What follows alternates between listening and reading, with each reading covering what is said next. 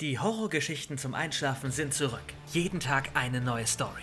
Zuerst gibt es die auf Spotify, Apple, Amazon Music und Co. Folgt dort auf jeden Fall unserer Playlist. Erster Link in der Beschreibung. Alle Stories sind fiktiv. Bitte niemals etwas nachmachen. Und jetzt viel Spaß. Als ich neun Jahre alt war, verschwand mein bester Freund Tommy. Doch nicht nur er, sondern auch sein Vater Jörg.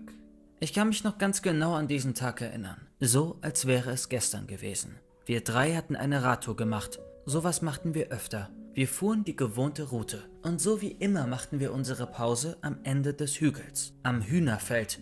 Es hieß nicht so, aber wir nannten es so. Wegen den, wie man sich offensichtlich denken kann, Hühnern. Sie liefen natürlich nicht frei auf dem Feld herum, aber da war ein großes Hühnergehege direkt auf der anderen Seite des Feldes. Sie gehörten dem örtlichen Bauern. Er hielt auch noch viele weitere Tiere, doch die Hühner waren die einzigen, die wir von unserer Position aus sehen konnten. Beziehungsweise eher hören. Die Hühner waren so viele an der Zahl und sie waren so laut, dass wir sie schon immer hören konnten, noch bevor wir den Hügel überhaupt erreicht hatten. Wir kannten den Bauern nicht, der das Vieh hielt, und hatten ihn auch noch nie gesehen. Aber das sollte sich an diesem Tag ändern. Oben auf dem Hügel begegnete uns ein Mann, der schon wie ein Landwirt aussah. Sind Sie der Mann, dem die Hühner gehören? Fragte Jörg. Ja, das bin ich, antwortete der Landwirt und lachte dabei verlegen. Der Bauer schaute zu uns. Sein Gesicht konnte ich nur so halb erkennen, denn obwohl der Landwirt ganz gewiss so angezogen war, wie man es sich vorstellte, gab es eine Sache, die ganz untypisch war. Denn er trug eine Cappy, und diese hatte er weit runter vor sein Gesicht gezogen. Das sah schon ein wenig merkwürdig aus, doch ich dachte mir damals natürlich nichts dabei. Jörg ging auf den Landwirt zu und begann ein Gespräch mit ihm. Wenn ich mich so zurückerinnere, hatte ich nicht das Gefühl, dass der Landwirt offen oder gar kommunikativ erschien. Abgesehen von der Cappy in seinem Gesicht ließ seine Körpersprache deutlich verlauten, dass er nicht gerade wirklich Lust auf ein Gespräch hatte. Aber Jörg gehörte nun mal zu der Art Mensch, den so etwas nicht auffällt. Oder dass es denen zwar auffällt, aber die darüber einfach hinwegsehen. Und so fing Jörg ein Gespräch mit dem Bauer an.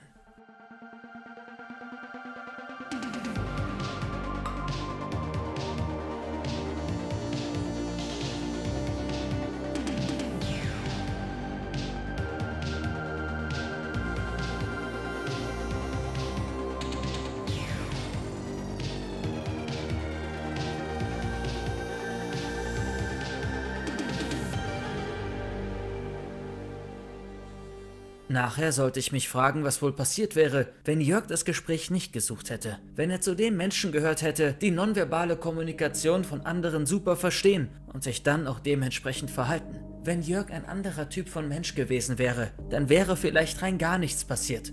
Aber gut, das konnte man auch nicht mit Sicherheit sagen. Jedenfalls war es damals unfassbares Glück für mich, dass ich ganz dringend aufs Klo gehen musste. Und so lief ich schnell in die andere Richtung, dahin, wo der Wald begann und als ich fertig war und wieder zurückkam, waren Tommy und Jörg weg. Genauso wie der Landwirt. Ich war total verdutzt. Ich schaute mich um, suchte nach ihnen. Zuerst dachte ich, sie wären auch in den Wald gegangen, weil sie mal mussten oder so. Doch als sie dann nach zehn Minuten nicht wiederkamen, wurde mir extrem mulmig zumute. Sie waren wirklich weit und breit nirgends zu sehen. Aber unsere Fahrräder standen noch dort. Ich begann nach ihnen zu rufen, doch keine Antwort. Ich lief auf das Feld des Hühnergeheges. Waren Tommy und Jörg etwa mit dem Landwirt mitgegangen? Aber das machte keinen Sinn. Dann hätten sie auf mich gewartet. Ich war ja nun mal fünf Minuten weg. Und sie hätten niemals die Fahrräder hier unbeaufsichtigt und unabgeschlossen stehen lassen. So waren sie nicht. Tommy und Jörg waren bestimmt nicht aus freien Stücken einfach so gegangen. Mein Gefühl wurde immer mulmiger. Und da war noch etwas, was mir komisch erschien. Ich wusste aber nicht was. Irgendetwas war hier seltsam. Aber was bloß? Ich erstarrte. Wie angewurzelt blieb ich stehen. Ich lauschte. Totenstille. Absolute Totenstille. Die Hühner. Die Hühner gackerten nicht mehr. Sie waren auch weg. Aber wie das? Das konnte doch nicht sein. In diesem Moment bekam ich Panik. Was war hier nur los? Ich kehrte um und rannte wieder zurück zum Weg. Irgendetwas in mir sagte, dass ich nicht zum Hühnergehege laufen sollte, dass ich nicht nachschauen sollte, was mit den Hühnern los war. Ich bin bis heute froh, dass ich damals auf meinen Instinkt gehört hatte und so rannte ich nicht nur wieder auf den Hauptweg, sondern schnappte mir sofort mein Fahrrad und fuhr damit davon. Ich fuhr den Weg entlang, den ich sonst immer mit Tommy und Jörg gefahren war. Ich fuhr so lange, bis ich wieder zur Straße gelangte, wo ich dann sofort zum ersten Haus stürmte und dort klingelte. Eine alte Frau machte mir auf. Tränenüberströmt und voller Panik erzählte ich ihr, was gerade passiert war. Ich glaube zwar nicht, dass sie wirklich verstand, was genau los war, aber die Angst in meinem Gesicht Panik in meiner Stimme waren für sie Anlass genug, die Polizei zu verständigen. Die Polizei, die dann bald eintraf, reagierte sehr gut. Sie nahm das, was ich gesagt hatte, sehr ernst und es wurde sofort Verstärkung geholt. Das erste Ziel war der Bauernhof, doch man konnte dort niemanden finden, auch den Landwirt nicht. Und mir wurde mitgeteilt, dass keine Hühner im Hühnergehege zu finden waren. Nach ein paar Stunden wurden Jörg und Tommy als vermisst gemeldet. Tommys Mutter wurde informiert und schon bald war der Fall im gesamten Ort bekannt. Überall suchte man nach Tommy und Jörg, doch von den beiden fehlte jede Spur.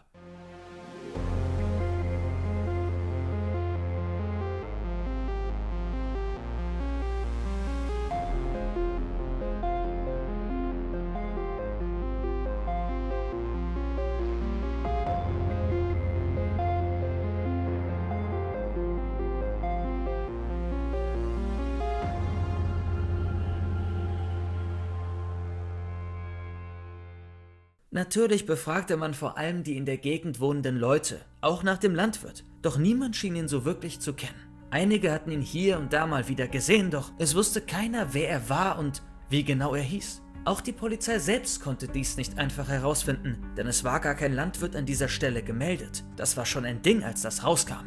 Denn der Landwirt hatte sich sicher schon viele Jahre niedergelassen. Naja, jedenfalls wurde das Ganze nach nur ein paar Tagen zu einer riesengroßen Sache. Das Verschwinden von Jörg und Tommy erreichte immer mehr Leute. Ihre Gesichter waren bekannt. Plakate mit ihren Gesichtern hingen an jeder Ecke, genauso wie Phantombilder des Landwirts, den man für den Entführer oder aber, wovon man mit zunehmenden Tagen immer mehr ausging, den Mörder von Jörg und Tommy hielt. Ich nehme es jetzt schon mal vorweg. Tommy und Jörg konnten nie gefunden werden, genauso wie der mysteriöse Landwirt. Irgendwann wurde die Suche eingestellt. Man konnte sich fast sicher sein, dass Vater und Sohn längst tot waren. Und so wie das nun mal so ist, verblasste der Entführungsfall mit der Zeit. Er wurde zwar immer mal wieder zum Thema und neu aufgegriffen, jedoch war das Ganze irgendwann ein alter Hut für die Menschen und gehörte der Vergangenheit an. Abgesehen natürlich von Tommys und Jörgs Familie und ihren Freunden, inklusive mir. Ich, der damals auch mit dabei gewesen war. Es verging kein Tag, an dem ich nicht an diesen Tag denken musste. Und es verging so gut wie keine Nacht, in der mir nicht der Landwirt in einem Albtraum erschien. Ich hatte ihn zwar nur etwa eine halbe Minute gesehen, doch ich hatte ihn noch deutlich vor mir. Ihn und seine Cappy. Die Cappy, die sein Markenzeichen war. Die Leute hatten es bestätigt. Man hatte diesen Landwirt immer nur mit Cappy gesehen. Sieben Jahre später kam ich an den Ort zurück, an dem es damals passierte. Bis dahin hatte ich mich nicht mal in die Nähe des Hühnerfeldes getraut. Aber irgendetwas in mir verlangte danach, zurückzukehren. Vielleicht, weil ich dachte, so mein Kindheitstrauma aufarbeiten zu können. Ich fuhr an einem Herbstabend mit dem Fahrrad dorthin. Es dämmerte schon, aber ich wollte sowieso nicht lange bleiben. Wenn die Dunkelheit eintrat, würde ich schon längst wieder über alle Berge sein. Nach erstmals sieben Jahren also fuhr ich die alte Route, die ich damals mit Jörg und Tommy immer gefahren war. Das alleine war schon ein sehr komisches Gefühl, doch als ich dann schließlich oben am Hügel am Hühnerfeld ankam, bekam ich ein richtiges Herzrasen. Vor meinem geistigen Auge erlebte ich die Situation von damals. Verdammt! Ich ballte die Faust. Was war damals nur passiert? Ich würde alles hergeben, um die Wahrheit endlich herauszufinden. Ich lauschte dem Gackern der Hühner. Ja, die Hühner, dachte ich. Diese Hühner. Warum sind die damals verschwunden? Mittlerweile hatte ein anderer Bauer den Hof und die Haltung der Tiere übernommen. Man wusste auch, wer er war. Natürlich wurde er genauestens untersucht und die Leute kannten ihn. Von ihm ging keine Gefahr aus. Im Gegenteil, wenn ich in seiner Lage gewesen wäre, in vollem Bewusstsein darüber, was hier passiert war, dann hätte ich keine ruhige Nacht schlafen können.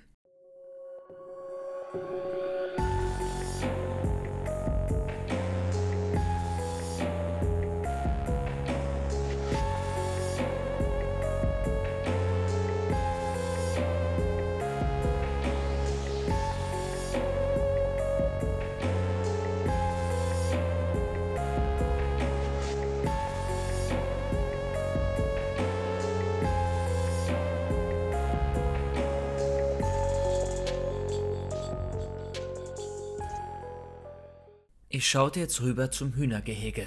Die Hühner gackerten genauso laut wie damals. Wie versunken schaute ich hinüber, so als ob mein Kindheitsfreund und sein Vater jeden Moment einfach auftauchen und zu mir laufen würden. Doch dann sah ich plötzlich etwas. Da war ein Mann. Ein Mann mit einer Cappy. Ich sah, wie er aus dem Hühnergehege herauskam und aber schnell wieder hinter dem Gehege verschwand.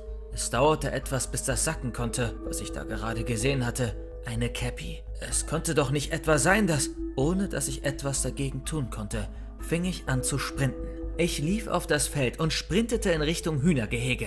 Trug der neue Landwirt etwa auch eine Cappy? Nein, das konnte ich mir nicht vorstellen. Das wäre doch ein sehr makaberer Zufall.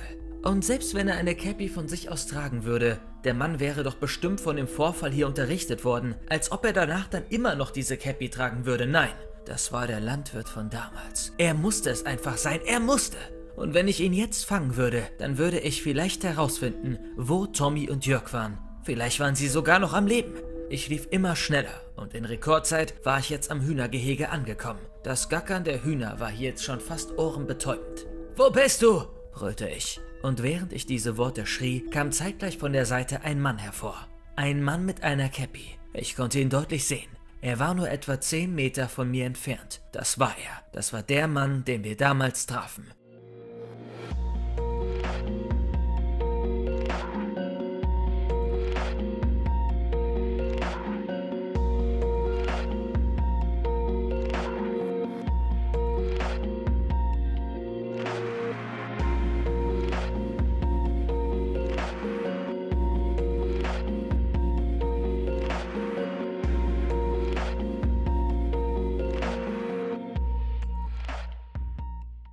Stehen bleiben!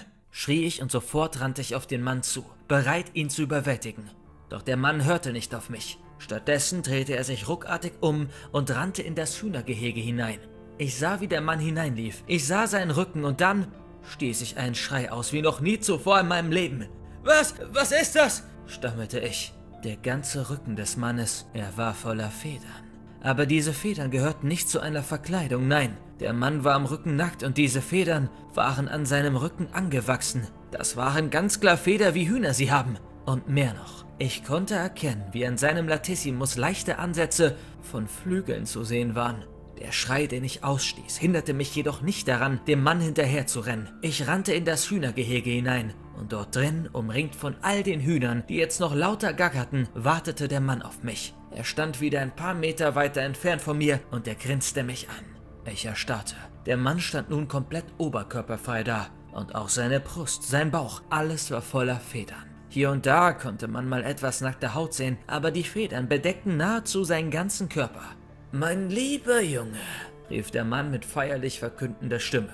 Ich bin sehr froh, dass du nach sieben Jahren endlich den Weg zu uns gefunden hast. Heute ist es an der Zeit, dass zwei alte Freunde sich wiedersehen. Noch ehe ich etwas entgegnen konnte, riss der Mann sich sein Cappy vom Kopf. Und jetzt schrie ich nicht nur, jetzt rastete ich komplett aus. Ich begann unkontrolliert zu atmen. Ich spürte, wie ich kurz vor einer Herzattacke stand. Auf dem Kopf des Mannes festgewachsen war der Kopf eines Huhnes und das Huhn auf seinem Kopf gackerte. Es gackerte mich an, als wollte es mich töten. Sieh zu deiner Rechten, mein lieber Junge, rief der Mann jetzt erneut, immer noch in derselben Tonlage. Und alles, was ich bisher gesehen hatte, war ein Klacks gegen das, was ich nun zu sehen bekam. Ich hatte mir keines der Hühner bisher wirklich angesehen. Der Landwirt hatte jetzt meine ganze Aufmerksamkeit auf sich gezogen. Doch nun sah ich mir zum ersten Mal die Hühner an.